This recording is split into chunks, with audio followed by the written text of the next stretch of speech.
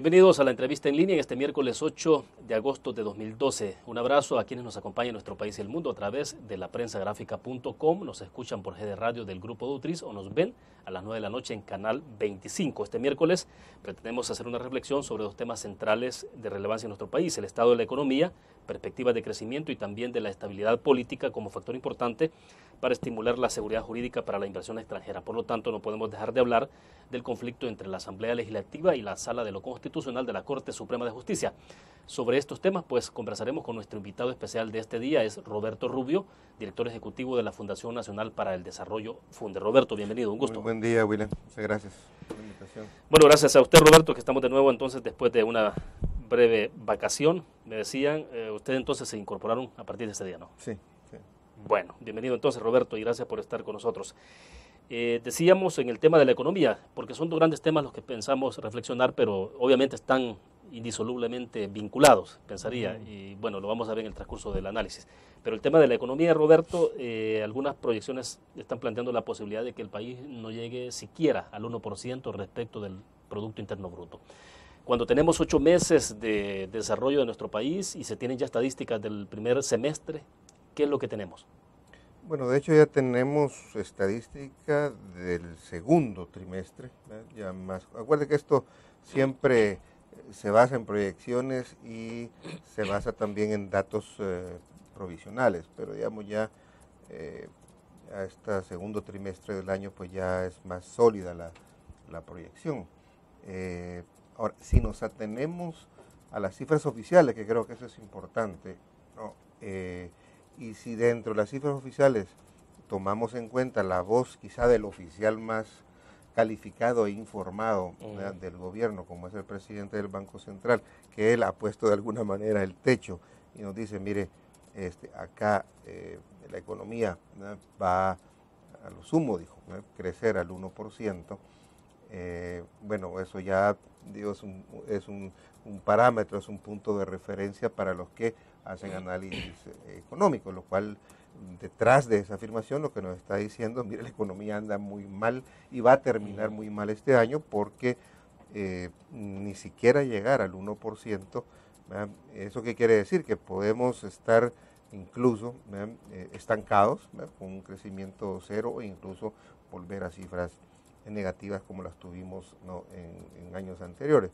Eh, podría darse cifras negativas, creo, quizá eh, si eh, hubiera realmente un, digamos, un choque muy fuerte del exterior, pero acordemos que los choques exteriores siempre tardan un poquito en llegar, ¿no? pero este, posiblemente, ya con los datos más firmes de los dos trimestres, podríamos ver que las proyecciones nos dicen que la economía andaría entre el 0 y el 1%, a menos que ocurriera algo pues eh, imprevisto y que no está digamos, bajo nuestro, nuestro radar. Em, pero eh, solo para darte una idea, el primero sería menos que el crecimiento de la población, con lo cual el país retrocedería, digamos, en términos per cápita. Y segundo, eh, sería de la economía que seguiría creciendo menos en toda América Latina. Y tercero, sería una economía que si eh, allá por el año 2000, digamos, que nuestra economía eh, con mucha suerte ¿no? andaba por el 3%, nos alegrábamos porque íbamos a llegar al 3%, al 4%. Este, ahora básicamente hemos pasado a conformarnos si la economía crece al 2%. Pero ni siquiera esa alegría del 2%, y vemos así entre comillas, esa alegría, eh, estamos llegando. ¿no? Entonces, sí es preocupante y si analizamos ya otros datos de la economía, todavía es más preocupante.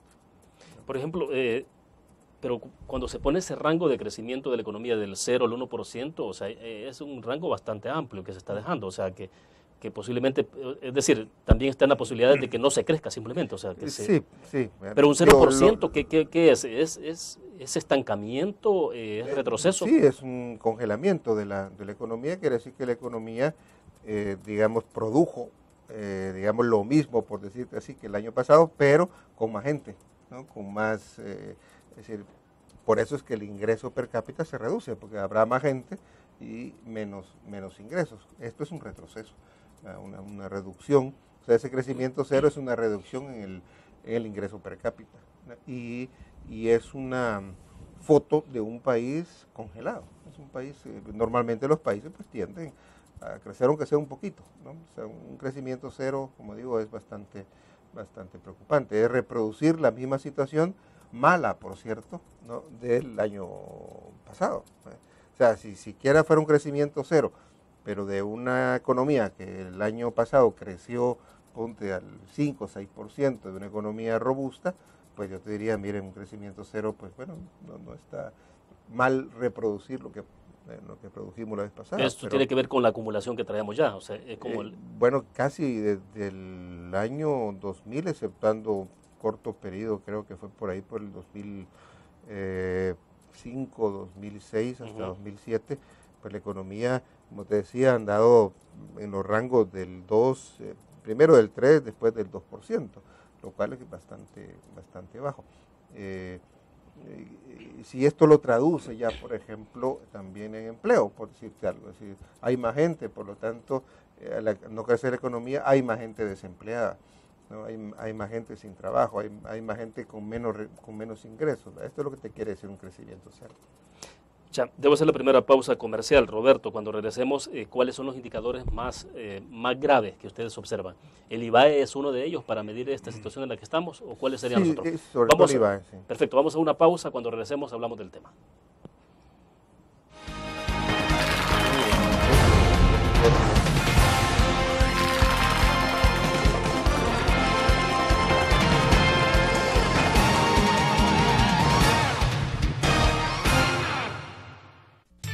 Parece si este año descubres nuevos destinos? Alcanzas tus metas. Manejas nuevos triunfos sin más preocupaciones. Cuenta con nosotros para lograr todas tus aspiraciones. Los créditos de la agrícola te acompañan para que puedas crecer hasta donde te lo has propuesto. Solicítalos al 2210-9800 en bancoagrícola.com o en agencias. Banco Agrícola.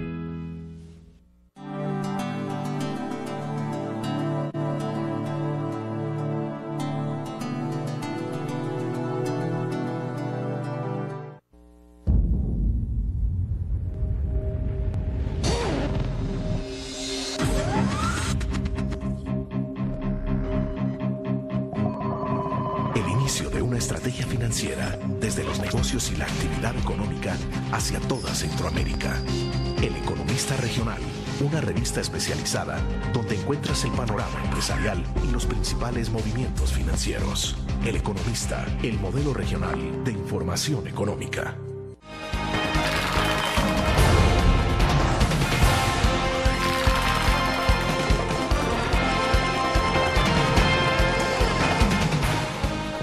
Nosotros en nuestros estudios Roberto Rubio, director ejecutivo de Funde. Estamos conversando sobre la evolución de la economía cuando prácticamente estamos en el octavo mes del año y hemos pasado ya prácticamente dos trimestres.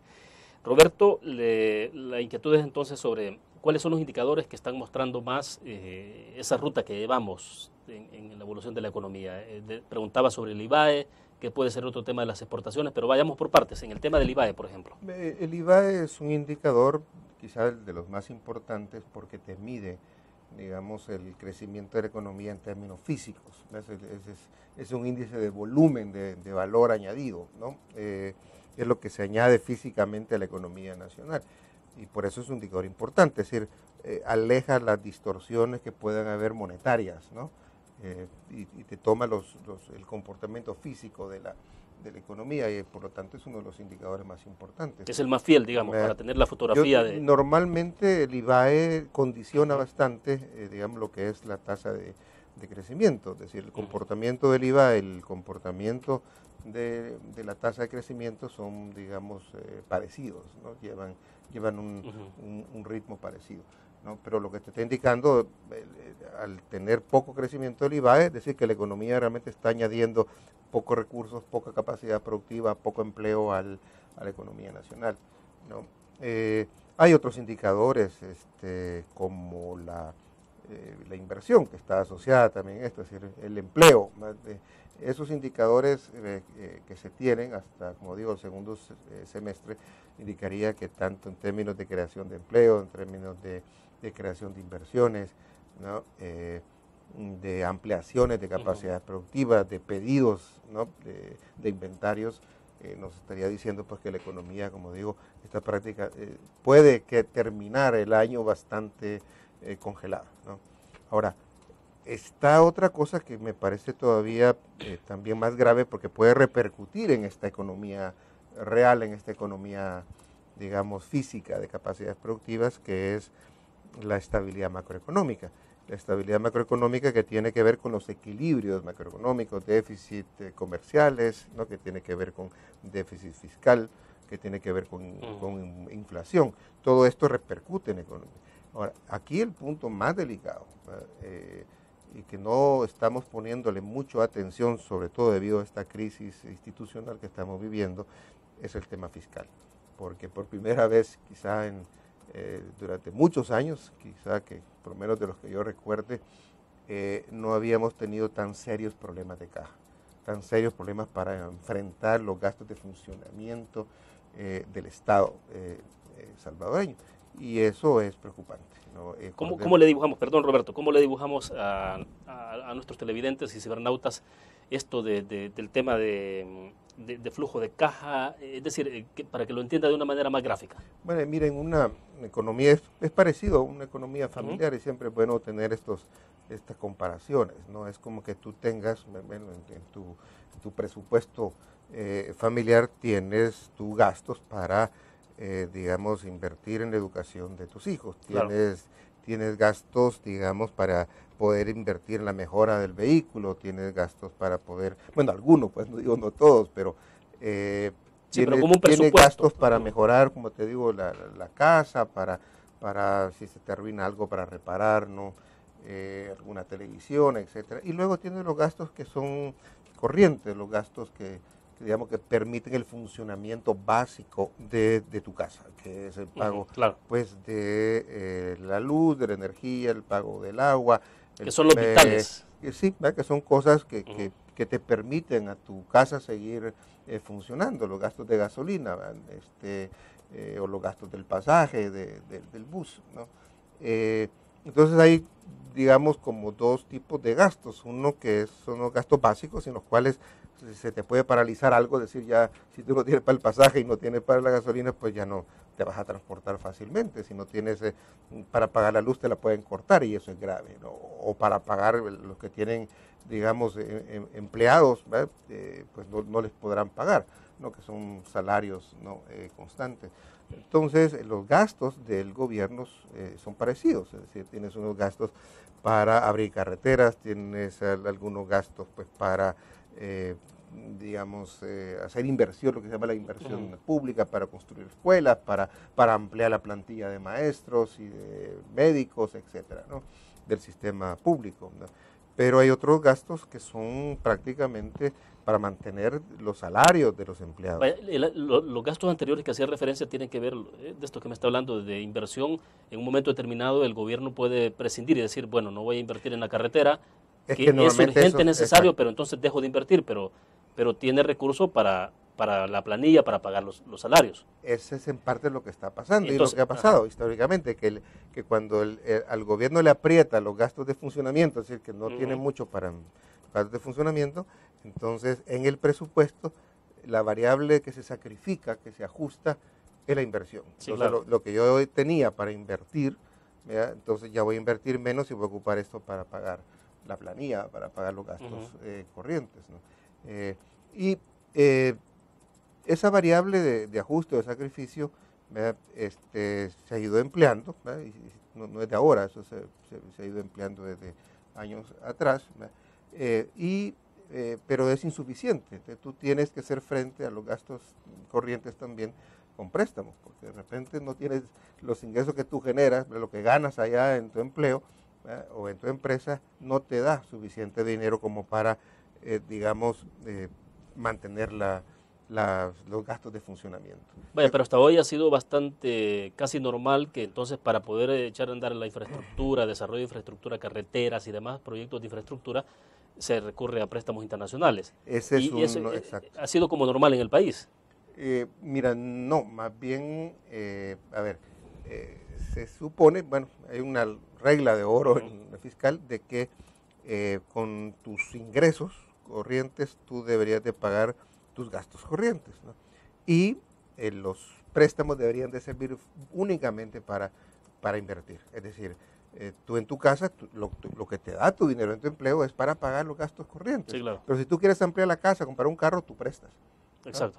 eso es normal. Lo que pasa es que ahora se cayó desde hace unos años atrás en que prestas, pero para seguir funcionando. Entonces, eso se fue aumentando, fue una bola de nieve que fue creciendo y, cada vez más los préstamos se fueron utilizando para pagar gastos corrientes. Entonces, ahora llega un momento que también tus préstamos se restringen, tus préstamos internos de emisión de títulos, de, bonos, los préstamos ahora, tú sabes que el Fondo Monetario prácticamente le ha dicho al gobierno, bueno, vamos a ver esto en octubre, ¿no? Pero, pero para mientras está, está congelada la negociación. hay un stand, hay un stand-by para el stand-by, ¿no? Eh, y eso tiene repercusiones sobre los bancos que, han, que han, sido generosos en prestarle eh, a este gobierno. Entonces, eh, ya hay limitaciones para acceder a ese crédito. Entonces, para terminar, si se te cierra la palanca de los, de los créditos, entonces eh, hemos entrado a ese momento. Y eso es lo que podemos ver después, qué significa lo delicado de esta situación a la que estamos entrando, o a la que ya entramos, mejor. Exacto. Vamos a una pequeña pausa, regresamos.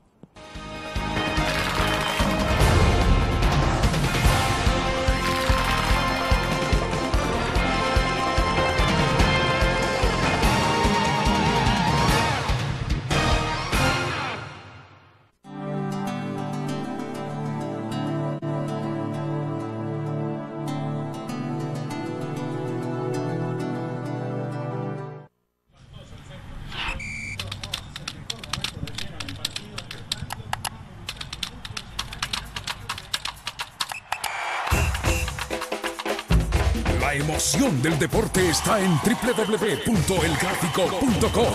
Ingresa al nuevo escenario deportivo y descubrí toda la pasión del deporte. Fotos, videos, fichas y resultados de las mejores ligas del mundo. Elgráfico.com. Conectados por deporte. Los primeros 100 días de trabajo de la alcaldía de Ilopango hacen la diferencia nuestra ciudad ha iniciado con obras y megaproyectos de mitigación, limpieza, restauración de la ciudad y desarrollo social. Así mejoramos las familias de todo Ilopango y construimos una ciudad en desarrollo. Porque en Ilopango, 100 días de trabajo hacen la diferencia. Alcaldía Municipal de Ilopango.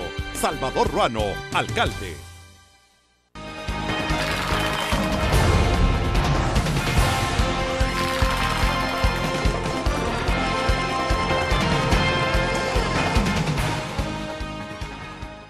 Roberto, decíamos entonces en el segmento pasado, eh, ha habido una tendencia a la utilización de préstamos para todo este tipo de, infraestructura, que no es lo más sano en una economía, eh, valga la redundancia, en una economía saludable. O sea, no debería ocurrir, pero, pero se ha hecho en los últimos años, nos decían en el segmento pasado. se, puede hacer ocasionalmente, el problema es que se ha hecho excesivamente.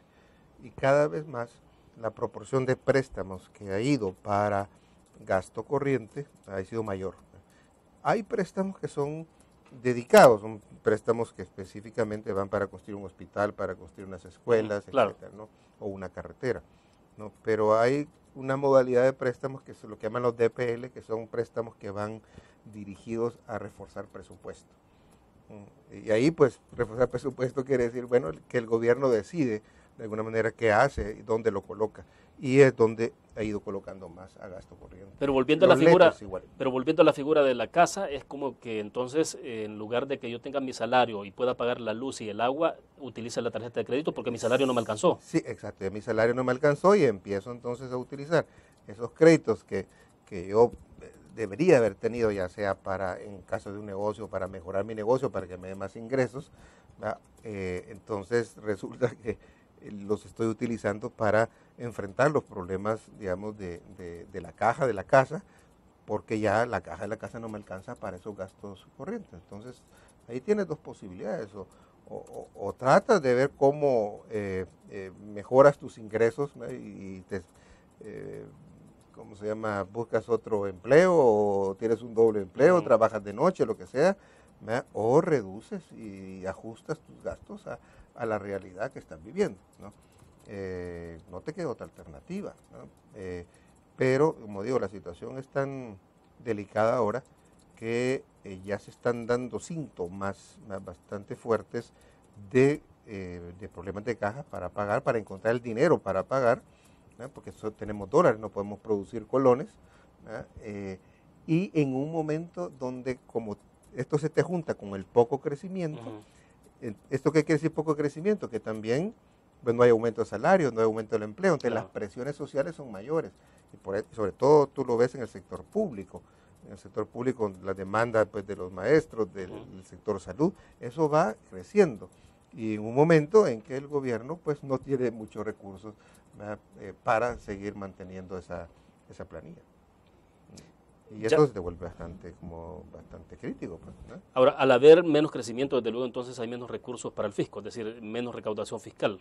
También, o sea, también, por eso. Ese es el otro problema, que, que más bien esta situación de, de falta de, de crecimiento, no solo se te sube la demanda social y la presión social hacia el gobierno en un momento que el gobierno tiene menos ingresos, ¿no? porque eh, eh, pues, no ha recibido, digamos, los impuestos que provienen de, del crecimiento económico. ¿no?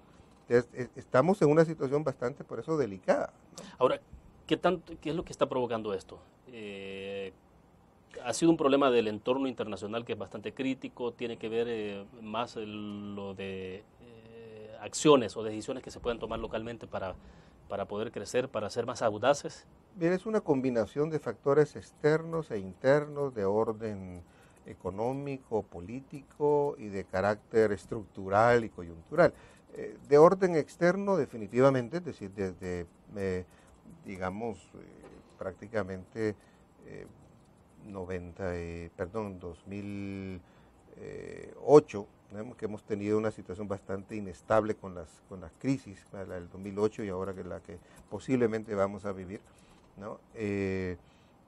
Ciertamente el entorno internacional eh, ha afectado, pero también no puede ser la única explicación, como a veces hacen funcionarios de gobierno eh, que dicen, mire, eh, o el presidente que no, mire, que nos, nos tocó primero estar en una crisis económica, sí es cierto, pero si eso fuera cierto, también otros países de América Latina no estarían creciendo. Yo le escuché decir al presidente que, que porque somos la economía más vulnerable frente a los Estados Unidos, y, pero mire, tampoco, es decir, Guatemala... Honduras, eh, eh, eh, incluso Nicaragua, tienen bastante dependencia. Los hondureños y los guatemaltecos, la remesa, por ejemplo, son las exportaciones de Estados Unidos son bastante fuertes. Entonces, no es la única explicación.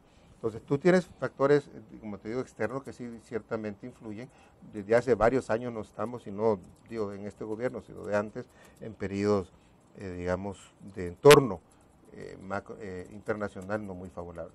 Pero también tú tienes eh, o tienen que ver con factores estructurales de la, economía. No tenemos una estructura de costos muy alta, eh, tenemos un, eh, los tres excesos que tiene la economía, excesivo consumismo, un, excesivo, digamos, consumo sobre el ahorro y sobre la, sobre la inversión y, un y un excesivo, mm, digamos, exposición a variables eh, nuestra economía depende sobre todo de variables eh, externas que son muy fluctuantes como el precio de las exportaciones y la remesa. Eh, pero también, y con eso termino, hay factores internos de decisión interna. Ha habido una mala conducción de la economía. y hay, añade factores también políticos, como la confrontación permanente del sector privado este, con, el, con el gobierno, este, la crisis institucionales, la incertidumbre política que produce, digamos, el frente con algunas declaraciones o con algunos pensamientos un poco del pasado que todavía expresa. Todo eso, toda esa amalgama de, variables, como te digo, externas, internas, estructurales, coyunturales, económicas, eh, políticas, no dan como resultado esta situación de práctico estancamiento en que hemos caído. Ya, vamos a otra pausa. Cuando regresemos, eh, si nos explica eh, el tema de dolarización, ¿hay que entrar al análisis o a reflexionar sobre el tema de dolarización en este momento o no es el más oportuno? Eh, ¿Qué hay? La tentación a que se pueda comenzar a emitir billetes de Colón, porque tenemos, lo que hay en el país es bimonetarismo. Sí. O sea, pero no se ha practicado el bimonetarismo como tal. No. Entonces, hablemos un poco de eso. Regresamos.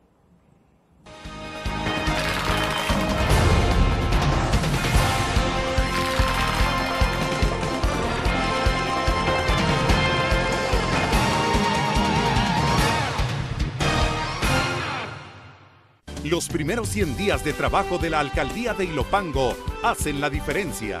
Con los proyectos y obras de bacheo, recarpeteo y mejoramiento de redes viales, se han beneficiado a más de 45 mil ciudadanos. Desde hace muchos meses y años había un abandono de la red vial y muchas gracias porque en menos de pocos meses nos están dando respuesta. 100 días de trabajo hacen la diferencia. Alcaldía Municipal de Ilopango. Salvador Ruano, alcalde. Tu periódico es dinero, porque ahora puedes pagar con la prensa gráfica. Busca y recorta en tu periódico el dinero que podrás canjear en los establecimientos de nuestros aliados. Encontrarás uno cada día. Compra con la prensa gráfica y encuentra una buena noticia para tu bolsillo. Con la prensa gráfica lo compras, compras. Con la prensa gráfica lo pagas, pagas. La prensa gráfica. Noticias de verdad.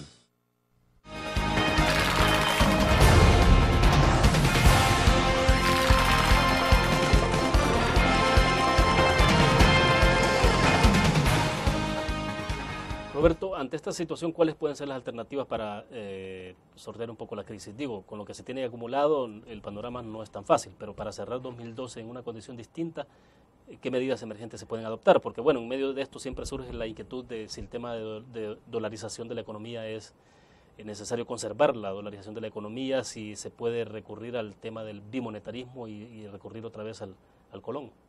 Mira, los problemas son económicos definitivamente, pero eh, curiosamente la salida es política. Salidas económicas en este momento pasan por, por, por, entendimientos políticos. Eh, hay algunas que quizás no, no necesariamente, tú puedes decir la dolarización, porque hay una ley del bimonetarismo, si no necesitas inventar otra, tú puedes, el gobierno le ampara la ley para poder empezar a sacar los colones del Banco Central. Ahora, esto en una situación de, bajo crecimiento, en una situación de incertidumbre que vivimos, o sea, si lo que menos queremos es incertidumbre, y añadir este factor en este momento, yo creo que sería bastante delicado. La tentación existe, la tentación de, si tú no tienes dólares para pagar, pues entonces voy a sacar los, los colones, ¿no? Eh, la tentación es, eh, está presente, pero sería peor en este momento. Eh, con ello no quiero decir que no se tenga que, que, debatir el tema de la dolarización, porque la dolarización tiene sus ventajas y sus desventajas. Creo que se equivocan aquellos que la diosifican, que la endiosan y los que la demonizan. ¿No? Eh, tiene sus ventajas y sus desventajas. El problema que hemos tenido es que han ido apareciendo más las desventajas que las ventajas. Eh, y una desventaja ha sido que la dolarización pesa sobre, sobre el valor de las exportaciones. La dolarización, eh, digamos, nos deja solamente con la política fiscal ¿no? como instrumento de política económica y vemos que la política fiscal es, está frágil, es débil. Entonces, en este contexto, ¿no? Eh, aflora mucho la desventajas. Pero sería un error este, en este momento eh, eh, arriesgarse a entrar en esos terrenos escabrosos. más bien, cuando decía solución política es porque hay, hay cosas que se pueden hacer para inyectarle liquidez a la economía, para generar proyectos de inversión y para eso requieres mucha confianza, para entenderte en cuál es la apuesta estratégica eh, para la economía nacional y eso requiere un entendimiento sector privado, eh, sector público, para lanzar una serie de leyes que tienen que ver con los asocios público-privados, con las concesiones. Ese es un tema delicado eh, políticamente, tienes que tratarlo, por lo tanto, tienes que dar señales también de, confianza. Todo eso pasa por entendimientos políticos. O sea que antes de poder llegar a, un, a una decisión que tenga que ver con sacar el billete de Colón a circular otra vez, habría que pensar en estas opciones. Indudablemente, es que, es que aquí eh, hay que dejar, como digo, un poco los orgullos, la prepotencia, la sordera y eh, buscar entendimientos en materia económica para sacar adelante el país. Reconocer que nos estamos equivocando, eso es fundamental para resolver un problema. Reconocer, pero si tú escuches a más de algún funcionario decir de que aquí la economía va bien, que no pasa nada, que y le susurran al presidente, ¿no? diciendo el presidente, tranquilos, aquí no pasa nada, ¿no? y desde hace varios años, muchos, les venimos diciendo, mire, la cosa no va bien, la cosa no va bien.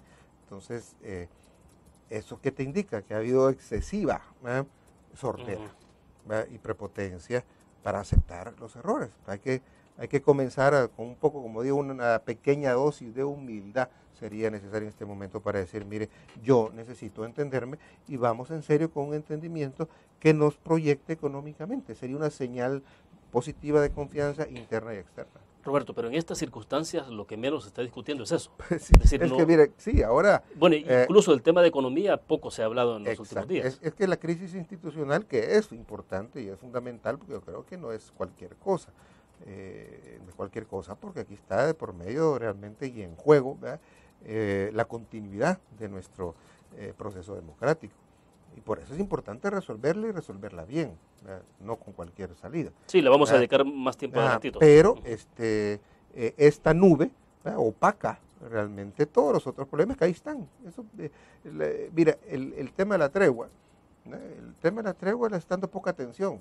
Puede, eh, digamos, caer esa, esa tregua, se está aflojando esa, esa, esa tregua eh, y la parte económica, especialmente la parte fiscal, no la estamos atendiendo adecuadamente porque casi todas nuestras energías están concentradas en, digamos, en esta crisis institucional que ojalá pues encuentre una salida adecuada que, que eso pues como tú dices pues lo podremos hablar. Sí, de hecho después de la, de la pequeña pausa comercial hablamos de estos temas y bueno, la tregua fundamentalmente, porque hemos visto ahora, el día de ayer y ahora también, declaraciones de Monseñor Gregorio Rosa Chávez, de la parroquia San Francisco, que ha recibido amenazas. Este día no ha habido clases en, esa parroquia por amenazas concretas de grupo de pandillas. Entonces, bueno, eh, ¿en qué escenario estamos? Vamos a una pequeña pausa, regresamos.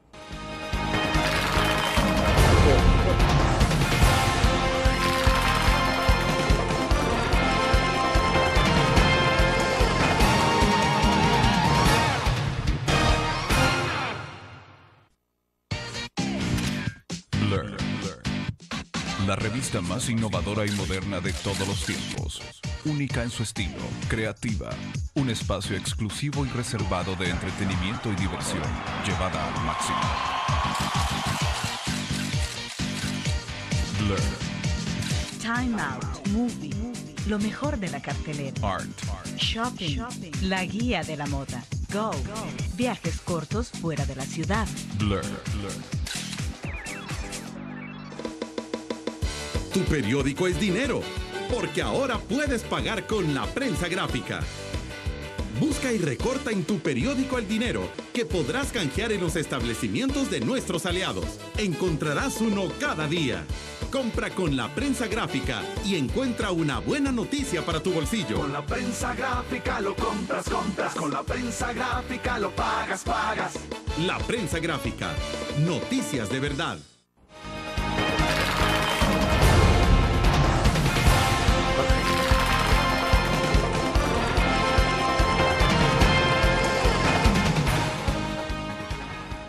Roberto, entonces, ¿cómo está el tema de, cómo se observa este tema de, la, violencia en el país, el tema de la tregua de pandillas? Eh, decíamos lo que está ocurriendo recientemente con la denuncia que ha hecho Monseñor Gregorio Rosa Chávez de las amenazas hacia la escuela donde de la parroquia donde él trabaja.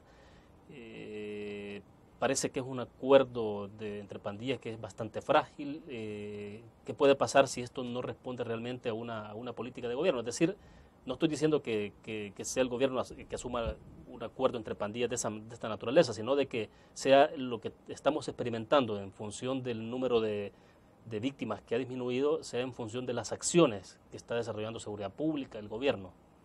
Mire, estamos en una eh, situación donde las tres grandes esferas de, la, de, una sociedad, la económica, la política y la social, eh, están en situación crítica, ¿no? Eh, porque, eh, bueno, ya vimos a nivel económico cómo tenemos el problema eh, agudo,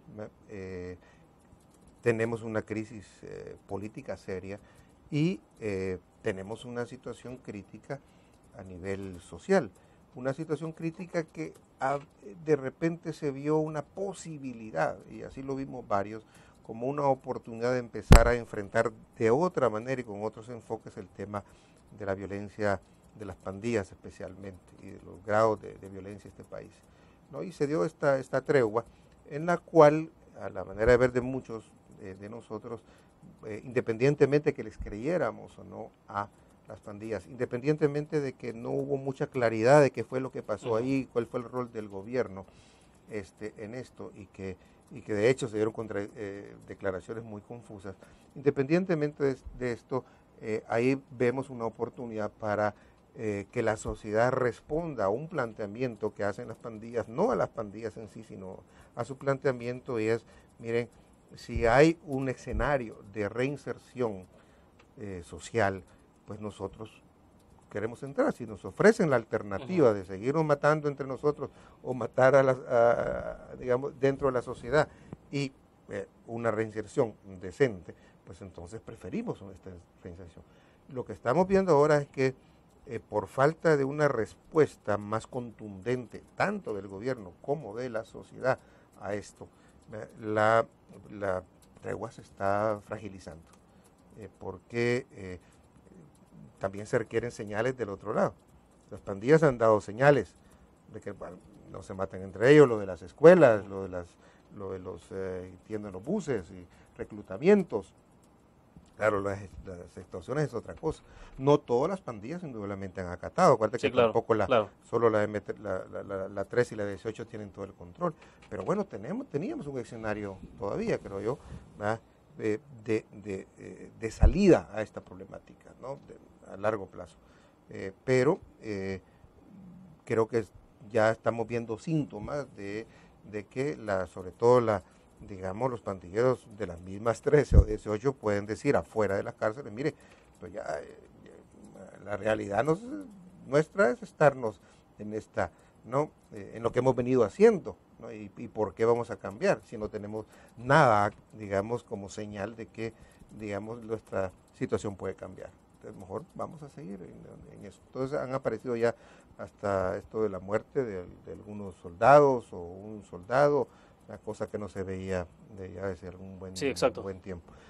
Aquí es donde, digo, eh, se nos puede, eh, digamos, eh, revolver, ¿no? Alebrestar esta situación social crítica que estaba más o menos ¿no? En, con posibilidades de algún tipo de, de, solución de largo plazo.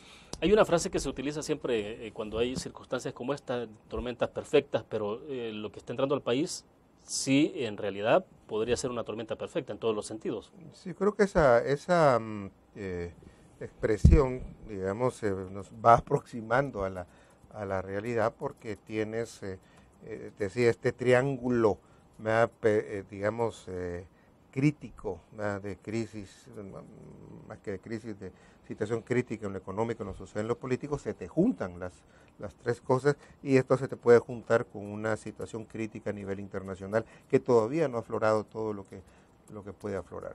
Ya, eh, no podemos pedir peor, es decir, ya estamos en una situación eh, bastante lamentable y por eso en este momento, mira, cuando hay desgracias en muchísimos países, este, una de las primeras reacciones que se hacen las sociedades y los estados es ver cómo salen juntos, porque la, crisis se lo lleva prácticamente a todo. Obviamente habrá ganadores en esas crisis, pero se lo lleva la mayoría. Entonces, eh, eh, creo que en este momento una situación eh, de estallido de, crisis, pues no le conviene ni al gobierno, ni a la oposición, ni al frente, ni a la, ni a la población en general.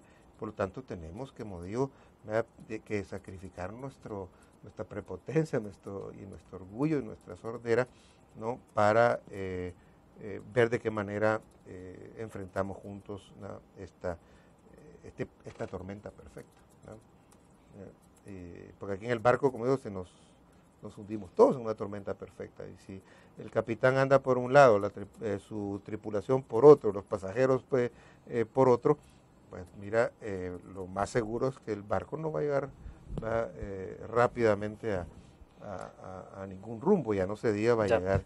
Porque no hemos abordado, eh, Roberto, el tema que tiene que ver con las implicaciones de, bueno, cómo está afectando el cambio climático al mundo. Estados Unidos ha pasado por una sequía compleja, el caso del precio del maíz se ha disparado, maíz amarillo En el caso de El Salvador tenemos una sequía también eh, que al margen de que pueda llover esta semana, gracias a la, la tormenta tropical Ernesto, ya hay una situación crítica con el maíz en la zona oriental. Hablemos de eso, vamos a una pequeña pausa y hablamos entonces más del tema.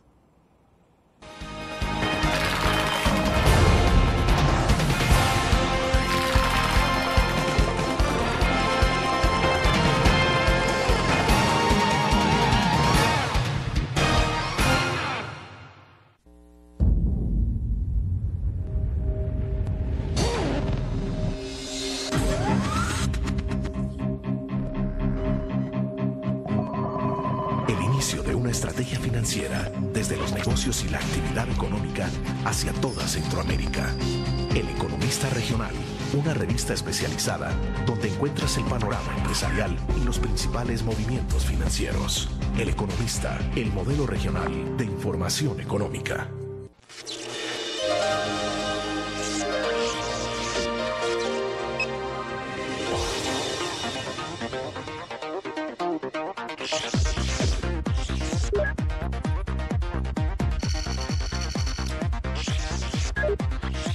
Estimulamos tus sentidos para que leas, veas, escuches e interactúes con la verdad.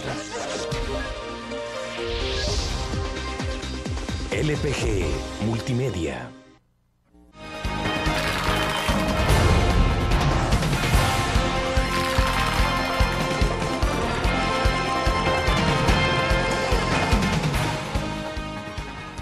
Roberto, nos quedamos en el tema de las implicaciones que también tiene con el tema de alimentos. Por ejemplo, la sequía en Estados Unidos, la escasez o el alto precio que pueda tomar el maíz amarillo, que en el país se utiliza fundamentalmente para el consumo de los animales, del ganado, pero bueno, un poco también para el consumo humano. Pero también tenemos eh, la coincidencia de una sequía en la zona oriental en este país, o sea que al margen de que pueda eh, continuar la lluvia en estos días, ya hay consecuencias para el, cultivo. Mire, la variable imprevistos tiene que ser ahora mucho más importante que en otros tiempos, porque ya el país eh, se encuentra en una zona bastante vulnerable, de hecho está considerada una de las zonas de mayor riesgo para los desastres naturales. Y ahora con el cambio climático la, situación se vuelve todavía mucho más, digamos, recurrente. Eh, acuérdate que tuvimos ya problemas de alza de precios de alimentos en el dos, finales del 2008 y ahora volvemos a, posiblemente a tener otra situación vamos a ver cómo se enfrenta. Todavía no está decantado que pueda haber un proceso inflacionario en los alimentos, pero sí, digamos, se están creando condiciones para que eh, pueda haber una presión para el alza de los, de los productos alimenticios por, eh, digamos, los, los problemas que han tenido las cosechas de maíz y de trigo en los Estados Unidos y en Europa y los problemas internos de la sequía que entiendo que hay un porcentaje bastante amplio de la cosecha de maíz que ya se, ya se perdió. Y esto podría darnos un, todavía a complicarnos más el escenario porque se supone que una de las ventajas, entre comillas, de un poco crecimiento es que al menos los precios bajan, porque pues, no hay mucha gente que compra, pero eh, se puede dar este fenómeno temido de la estanflación, es decir, estancamiento, no crecimiento de la economía, con aumento de precios, eh, sobre todo porque los alimentos tienen un peso muy grande dentro de la, de la canasta básica, o la canasta, digamos, eh, eh, con la que se mide, digamos, los niveles de inflación. Es decir, perdón, con esto de esta inflación, para radiografiarlo también, estamos hablando de que la amenaza de que no, no, hay crecimiento de la economía, no hay generación de empleo, no hay aumento de salarios, pero se incrementa el precio de los, de todos. los precios de los alimentos, digamos, eh, y eh, tiene sus ventajas, porque recuerde que puede bajar el precio del, petróleo, pero de hecho no lo estamos viendo que baje. Exacto. El, petróleo también se mueve mucho con factores especulativos y los malos cálculos que creo que se hacen acá internos también. Eh, entonces estamos viviendo un momento de, de, presiones inflacionarias que nos puede dar ese, como digo, ese escenario temido de estancamiento con inflación, esta inflación que eh, si tú tienes inflación, pero la economía va creciendo, hay más empleo, hay más incremento de salarios, pues vas por lo menos a la par. Pero aquí se nos puede añadir un, elemento más de, crisis. Bien, como nos quedan unos cuantos minutos todavía, la parte de institucionalidad, en la discusión de la reunión que están sosteniendo los partidos políticos en Casa Presidencial. Octava reunión el día de ayer sin acuerdos. ¿Qué, qué, señal nos está dando esto, Roberto? De que el problema es bastante profundo y bastante complejo porque eh, yo diría que se están conformando eh, dos posiciones eh, una posición que es la que realmente está haciendo ruido, la que está, digamos, dificultando un arreglo y es la posición de tratar de desarticular la sala de lo constitucional. Eso quiere decir que tiene como telón de fondo la intención de tener control de, de la Corte Suprema de Justicia para el FMLN, eh, y para otros partidos, pero sobre todo para el FMLN, eh, en su proyecto, en su mentalidad, en su concepción, digamos, que tiene, digamos, del quehacer, digamos, de la, de la sociedad, tener el control de la Corte Suprema de Justicia es fundamental. A ellos les incomoda la independencia eh, de la justicia, ¿no? del sistema judicial. Por lo tanto, están defendiendo a, capa y espada como gato panza arriba digamos, el tener el control eh, de la, no perder, digamos, el control eh, de la Corte y especialmente de la Sala de lo Constitucional. Porque a partir del control de la Sala de lo Constitucional, ya vimos el ejemplo de Nicaragua con Ortega, es como puedes tú incluso no estar en el gobierno y tener, y tener poder y control sobre el país. Eh, y por otro lado, la posición que creo que y habría que felicitar, quiero yo, a, Arena por mantener una posición, decir, mire, nosotros no entramos en el juego de desarticular la sala. Podemos eh, discutir eh, lo de magistrados y ver quién tiene más o menos calidad, pero la elección del 2009 no se cuestiona porque eso ya está, digamos, establecido. Eh, y yo creo que eso es la dificultad que hay, porque no tener control, imagínate lo que significa de la sala de lo constitucional o del fiscal para los proyectos autoritarios, para los niveles de, para las acciones de corrupción es algo que eh, les da ñañaras, ¿no? les da, eh, desincomoda a algunos de los dirigentes de estos partidos. Eh, y, esto es lo que viene nuevamente, porque esto es lo que te añade, es otro elemento más de incertidumbre, que es como digo lo que menos necesitamos, de incertidumbre y de desconfianza. Es decir, el partido de gobierno mandando estas señales, ¿cómo quieres tú que los inversionistas que tienen ahora más posibilidades de invertir afuera, con vecinos que están eh, creciendo, van a querer invertir acá cuando se les presenta esta inestabilidad? Entonces, no nos quejemos que inviertan fuera. Eh, si realmente aquí no estamos ofreciendo las condiciones adecuadas y otros países sí lo están haciendo como Costa Rica o Panamá o incluso Guatemala con todos sus problemas institucionales, Honduras ya no se diga. ¿no? Entonces, este, esto lo que viene pues es a sumarse ¿no? a, al panorama eh, crítico digamos, que estamos viviendo y que eh, le añade toda esta incertidumbre política a nuestro proceso democrático. Ahora, ¿será que no están midiendo las consecuencias? Digo, porque en la medida que esto se prolonga también, no creo yo que Estados Unidos, para ser concreto, que de alguna manera se ha puesto en Estados Unidos, en el Senado, en el Congreso, la advertencia sobre la posibilidad de que se suspenda el Fomilenio 2. Eh, ¿Será que no están midiendo que, que entre más se prolonga esto puede haber eh, la concreción de esa amenaza, que hoy por hoy ha sido más un comentario, algunos senadores expresando preocupación y advertencias de que se puede suspender esos fondos del milenio. Pero ¿no será que no están midiéndolo en, casa presidencial en esas reuniones de, las consecuencias de sus actos? no lo sé. Eh, eh, yo creo que algo, algo deberían de, porque no basta tener un poco de dedo de frente para ver las, las consecuencias ¿no? que esto está teniendo ya sobre, como he dicho, la economía incluso sobre otros temas importantes que requieren atención como la tregua de las pandillas. Ah, yo creo que el tiempo está jugando en contra del gobierno, sobre todo. Eh, creo que el gobierno, eh, al haber acompañado, eh, digamos, también a, este grupo de, o por lo menos el, digo, la, presidencia, al haber acompañado inicialmente a este grupo de, partidos y sus planteamientos, al haber dicho que van a aceptar la resolución de la Corte Centroamericana de Justicia, al, estar también, digamos, eh, interesado en la desarticulación de la sala de lo constitucional, ¿no? lo metió realmente en un, problema. Eh, ahora expresa de, del frente, porque el que le puede dar solución a esto no es tanto el gobierno, es el frente o es arena. Son los dos que le pueden dar solución a esto. Eh, entonces el gobierno realmente está bastante atrapado en esta, en, esta coyuntura porque se metió eh, eh, siendo parte interesada en, este conflicto y contribuyó de alguna manera a, la generación de, este, de esta crisis.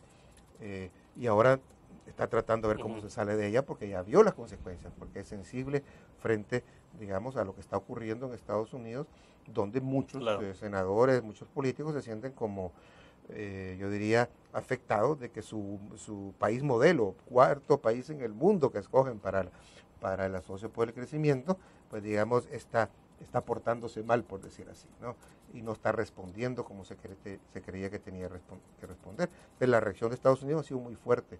Yo creo que indudablemente es más sensible el gobierno que el frente. El frente le preocupará a algunos dirigentes el tema de la visa, ¿no? pero eh, el gobierno es más sensible. Al frente también creo que juega el tiempo en su contra porque tiene una opinión pública bastante eh, desfavorable eh, y creo que eso también les está, digamos, afectando sus posibilidades. Pero si le va mal a este gobierno, eh, le, puede, tener consecuencias para el FMLN en 2014. Para ellos también, correcto, sí, porque es el partido oficial.